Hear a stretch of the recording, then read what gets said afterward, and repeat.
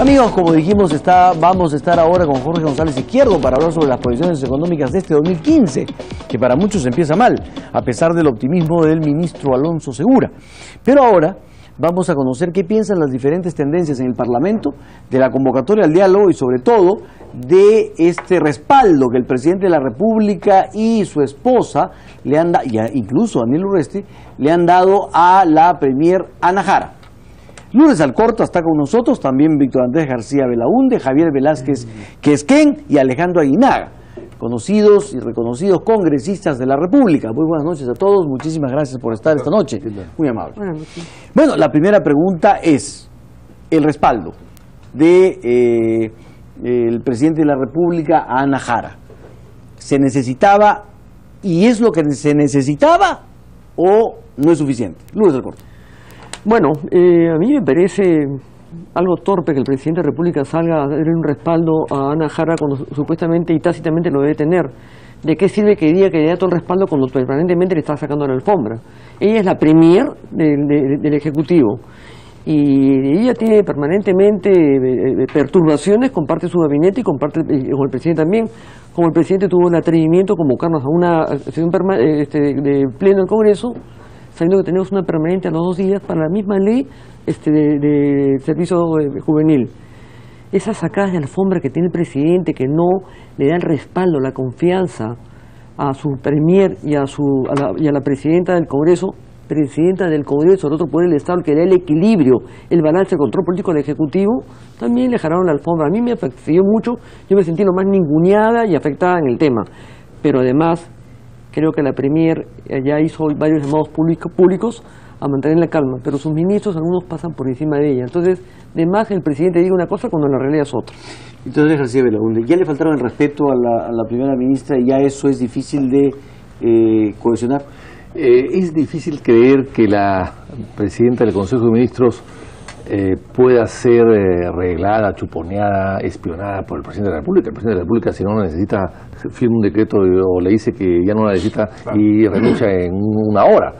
Eh, así que eso lo veo difícil. Lo que yo sí creo es que hay pugnas al interior del gobierno hay sectores que quieren estar más cerca del gobierno, que quieren eh, eh, recoger la supuesta herencia que podría dejar el, nacionalismo y con miras a, las próximas elecciones. Yo creo que hay una pugna, hay un fraccionamiento total y a falta de liderazgo, a falta de decisiones, a falta de autoridad, evidentemente se dan el lujo de estar eh, boicoteando la labor de algunos ministros o arreglándolo. ¿Pero ha sido oportuno el respaldo o no se puede creer en él?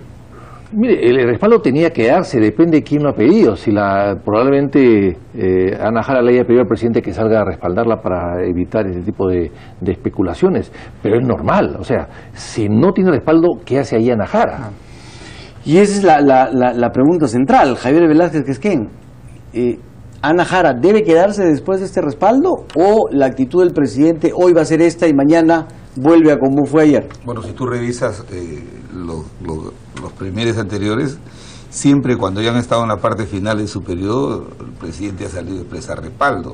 O sea, eh, como dice Lourdes, ¿qué sentido tenía de salir a expresar respaldo cuando la oposición en su lógica actuación pide la cabeza de la primera ministra? Primero, creo de que ya el gabinete Jara está agotado. La crisis con ella incluida. con ella, con ella. Ella es una mujer decente pero creo que hay que tener eh, la hay que tener la decencia de algo que está faltando la capacidad de renunciamiento. Ella ha debido irse semanas atrás porque en la práctica el vocero el vocero del gobierno ahora no es ella es Urresti y Cateriano. El cargo de primer ministro no con Ana Jara sino desde el comienzo ya con la actuación protagónica invasiva de la primera dama el, cargo de, primer ministro casi no existe.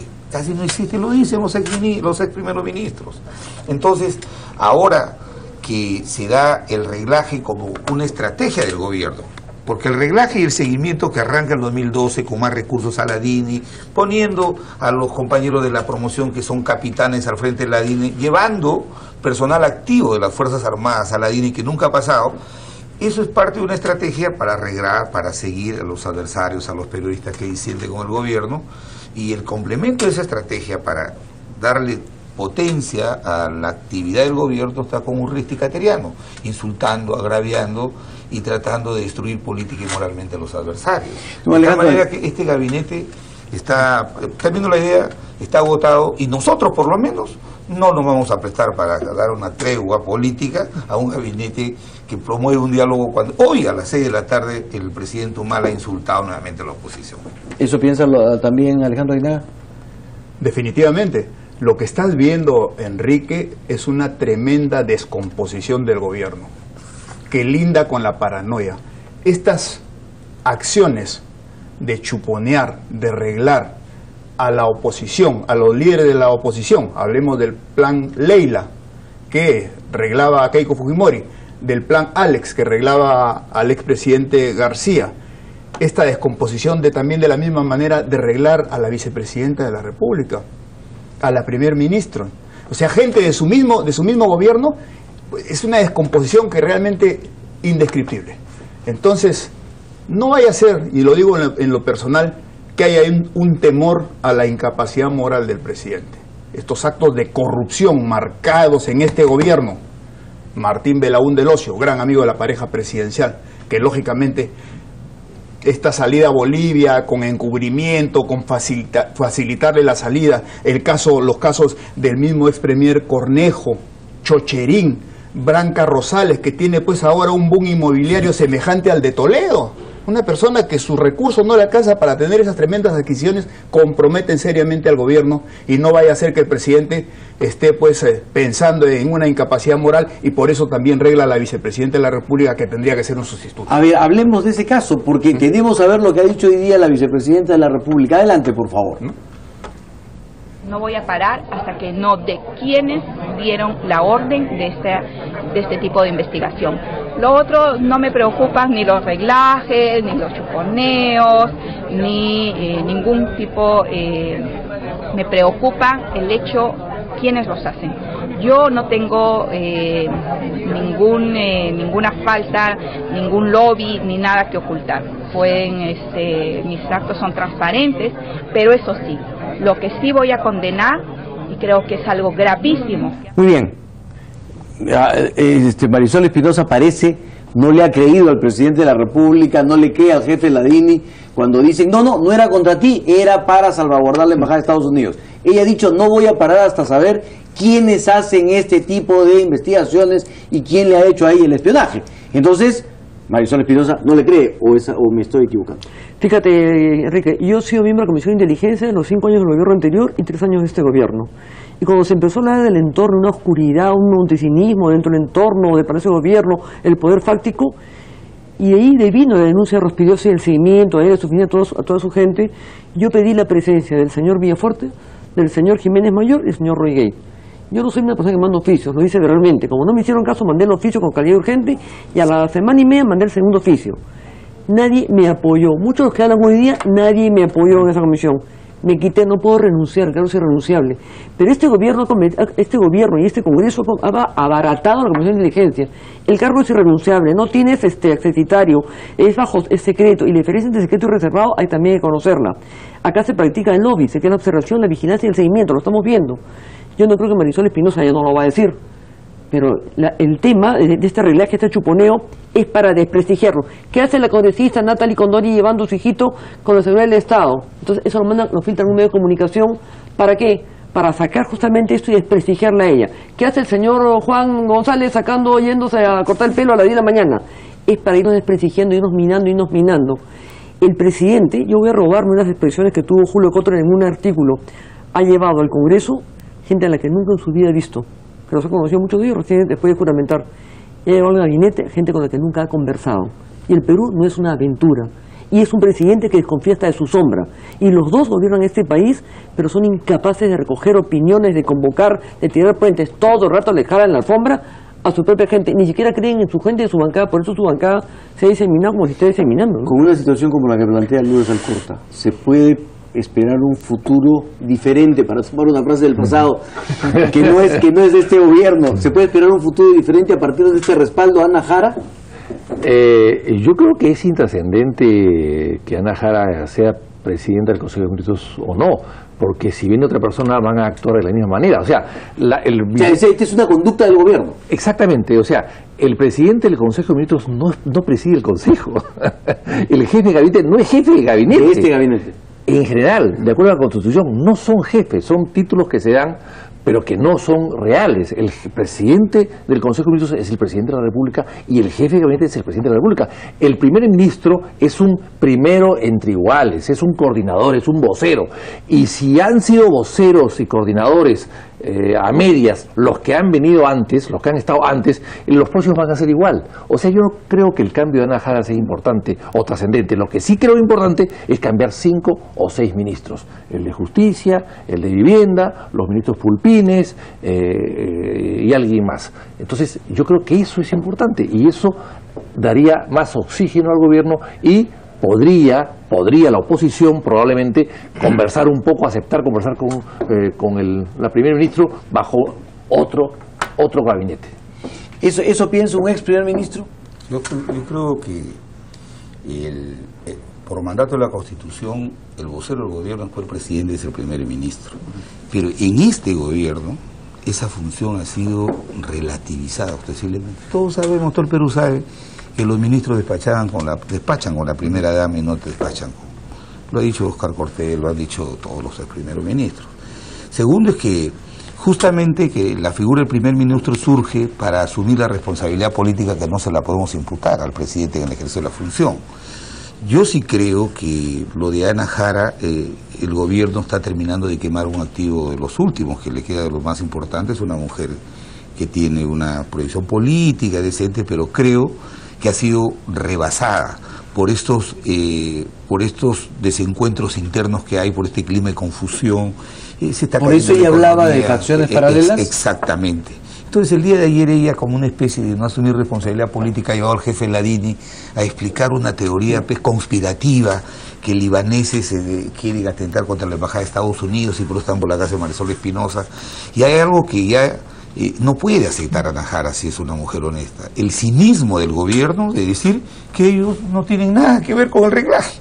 Y que no es por Alan García, que arranca el 2012 con Rospigliosi, con el aumento del presupuesto de la DINI, sino que creo que por el bien del país, si este año queremos generar un clima de estabilidad para poder generar una transición y que por lo menos este gobierno pueda dejar la economía como se la entregamos, tiene que haber un gabinete, obviamente, de, de gente de confianza del presidente de la República, pero que genere, por lo menos, o tenga vocación de consenso para que en las líneas generales de la política del gobierno podamos este año ponernos de acuerdo. No hay diálogo, o, sea, cualquier posibilidad de diálogo con Ana Jara, por lo menos nosotros no nos vamos a prestar esa... ¿Qué tendría que hacer Ana Jara para que el fujimorismo le crea que sí tiene vocación de diálogo o que sí ella puede ayudar a cambiar la actitud del gobierno de aquí en adelante? Enrique, la realidad es que hay dos medidas desesperadas que las han anunciado. Hoy día el presidente de la República, lo que es implícito y tácito, sale a anunciar eh, el apoyo a la primera ministra. Es que la primera ministra la designa el presidente de la República y la cambia pues cuando pierde la confianza. Aquí no es necesario, no es necesario que salga a, a- a- a decir que la apoya. Pero estaba luego- estaba No, ya no, Y lo de ayer, cuando ella anuncia el diálogo, es que los diálogos con este gobierno están completamente desacreditados y son improductivos. Este gabinete está muerto, está roto a pedazos. Yo no creo que, por ejemplo, Vitocho de la, oposición se va a sentar pues a dialogar con Mayorga. O, o nosotros nos vamos a ¿Se sentar a dialogar, a dialogar con Figalo. No, no, no. Eh, yo ¿No lo es cierto? sentaría en el. Pero déjame terminar. En el tribunal, quizás, en un tribunal de claro, justicia. no, no te vas a sentar a conversar con Figalo que hemos visto que ha realizado maniobras de encubrimiento en el caso de Martín Belaún del Ocio y los procuradores que justamente venían haciendo la investigación fueron defenestrados para poder encubrir la situación. O te vas a, o te vas a sentar a, a dialogar con Urresti, con Cateriano, con este con, con Carmen Omonte seriamente cuestionada por los problemas que ha tenido con, con el, su servicio doméstico o con la misma ministra Jara que dice hay que expresarnos con educación y Urresti le enmienda la plan y dice señor Delego este, tal cosa le anuncio con educación entonces hace burla de su primera ministra. El gabinete no tiene espacio. Si el presidente es inteligente ya tendría que cambiarlo. Hay usurpación de funciones y lo acaba de señalar Sergio Tejada Yo hace dos semanas hablé con la señora Nadine para explicarle el problema que, que teníamos con la ley. Se tenía que hablar con los ministros, con el primer, con el presidente, no con una persona que no es elegida. Entonces, me favor. Lourdes Alcorta. ¿Debe haber diálogo? ¿Qué condiciones deben darse para el diálogo o no se debe poner condiciones al diálogo? me parece una reverenda tomadura de pelo del diálogo. Han dialogado con Chemiler, han dialogado con Jiménez, con, eh, Con eh, Oscar Jiménez Mayor, con con, Oscar. con Oscar Valdés, han dialogado con Cornejo, eh, han dialogado con... eh, este es- Hasta no te olvides, no te olvides que Jiménez Mayor cuando es nombrado dice, este es el elemento del diálogo. Y luego se juntan una serie de curas de no sé qué religiones y empiezan a orar. Y fue un reverendo desastre, el señor este Jiménez Mayor como, como ministro, un sometido de la primera dama. El tema de la inteligencia, para que la gente sepa un poco, la inteligencia tiene varias ramas, la del ejército, la de la marina, la de la aviación, la de la policía, la de INANDRO y la DINI. La que es uno- es- produce inteligencia. Alguna de ellas, alguien ha estado este, chuponeando, no descarto que haya también un reglaje empresarial, no lo descarto tampoco. Hay, lo ha habido en el pasado y lo hay en el presente. Pero lo que no se puede pretender es que porque el presidente sale y dice que no hay absolutamente nada, nosotros tenemos que querer, le quita la alfombra a cualquiera. Es un, es un gobierno que no respalda ni a su propia gente. La votación del otro día para eliminar la ley de laboral juvenil ha sido por goteo, porque los, los, los mismos de Perú ni siquiera cambiaban el voto, porque están, ¿sabes qué? Lo que no podemos estar en último, este último año de gobierno, que le quedan 15 meses, no hay ninguna posibilidad de ninguna propuesta política de este gobierno. Lo único que tiene que hacer este gobierno es tranquilizar al país, a 30 millones de peruanos, darle esperanza, darle fe, que la economía crezca, estamos en 2%, que haya inversión y que haya trabajo, tranquilidad para que el próximo Pero presidente se lo Lourdes entregue. Alcorta no, no iría al diálogo. Yo no voy al diálogo de ninguna manera, una tomadura de pelo. Y Es- entonces- es- salvando, la, salvando la presencia de, de Claro. Ana Jara como persona, ¿no? Y, y, Bueno, y ¿dónde recibe la Pero ¿cómo puedo dialogar con un gabinete? Ayer mismo he presentado pruebas concretas y acá ustedes han Mayorga le propone de un que- negocio. de- bueno, pues, primero con Mayor que es impresentable, yo no puedo conversar con él, ¿no? lo conversaré con él cuando vaya a- pupines, a, los una pupines. comisión investigadora Claro. de lo mismo que hace. Pero en fin, ayer he presentado a la primera ministra cartas de hace 14 meses donde le pongo los nombres de mis familiares que han sido Sí, yo he visto arreglados. las cartas que presentaste. Tú has visto las cartas. Son 16 familiares arreglados. Y pongo el nombre de uno de ellos, de los que han estado siguiendo a toda mi familia. Rosendo Francisco Chávez Rojas. Ayer le he dado hasta su DNI. Ayer, han pasado 24 horas. No me ha llamado, me ha dicho, "Oye, este es de trabajo de la DINI. Siempre trabaja en la DINI, pero eh, ¿dónde está? ¿Quién es? ¿Por qué lo hace? No, nada de información, a pesar que yo esto lo mandé al despacho de ellos hace 14 meses. Entonces, con ese gobierno, yo puedo conversar cuando me están arreglando, cuando no dan cuenta de lo que están haciendo y que ni siquiera eh, pueden excusarse o justificar o, o qué sé yo, algún tipo de reglaje o espionaje, no puede ser. O sea, involucra al primer ministro anterior, que era quién? Ya no sabemos ni quién. ni El anterior era Cornejo. Cornejo. O sea, es de Cornejo. Con, quien, con quien de pronto se hubiera sentado Claro, el tampoco. ¿Y recibe la ONU? Sí, me sentaré en una comisión investigadora o en la subcomisión de acusaciones constitucionales cuando vaya a presentarse, porque ya la denuncia está presentada. Jaime Velázquez, que es que no hay nada que modifique eh, esa decisión de ustedes de no sentarse a conversar con este gabinete. Para nosotros el diálogo es fundamental a consolidar la institucionalidad democrática, pero tampoco nos podemos prestar a un diálogo que lo puedan utilizar como una tregua política. Mira, todos los gabinetes, hasta la misma Ana Jara al inicio de su gestión promovió un diálogo contra las bancadas. Tomó nota. Y la hizo. Y, y no ha pasado nada. Mira, ¿sabes qué es lo que pasa? La pareja presidencial no cree en el diálogo. Ellos, Ellos son los primeros saboteadores del eh, diálogo. Sí, son los primeros porque conciben que la conducción del país no debe tener una conducción política sino castrense. Nos ven a los adversarios políticos como enemigos políticos. Por eso es que nos reglan, por eso es que nos quieren descalificar moral y políticamente. Yo creo que Ana Jara es una mujer honesta, pero yo creo que debe tener la decencia en los próximos días de dejar el cargo porque ha sido desautorizada. El señor Humala está operativizando su gobierno utilizando a dos a dos ministros como el del Interior y el de Defensa que atacan, que insultan a la oposición. En ese escenario es imposible el diálogo. Lo mismo piensa el Fujimorismo. De la misma manera. No hay forma con Ana Jara. Es que Ana va a ser improductivo. ¿Qué capacidad de maniobra tiene Ana Jara? Y si, y, el si, y si el diálogo es con el presidente de la República, como ha planteado Oscar Valdés, ¿le creen al presidente? Al presidente no le creemos, porque lógicamente es el primero que sabotea los diálogos. ¿Quién es el que sale con improperios, con insultos cuando su primer ministro Jiménez Mayor planteó el diálogo? El presidente de la República, salvo que ponga una agenda fija que realmente se comprometa a cumplirla. Porque en estos momentos, reitero, Enrique, los diálogos están desacreditados, los diálogos son maniobras para poder distraer la atención justamente de la oposición que está completamente convencida que este gabinete ya está fenecido. Muy bien, muchísimas gracias Lourdes del del de la UNDE, tenemos claro lo que piensa el APA del Fujimorismo a través de Javier Velázquez y Alejandro Ainaga, así es que veremos qué pasa. Eh, curioso porque Mesías Guevara ha dicho que sí va al diálogo de cabeza, así que ahí tiene que arreglar su tema, acción popular, ahí tiene que arreglarlo. Irá él solo. Irá él solo. Amigos, vamos a una pausa, volvemos para hablar con, con Jorge González Izquierdo.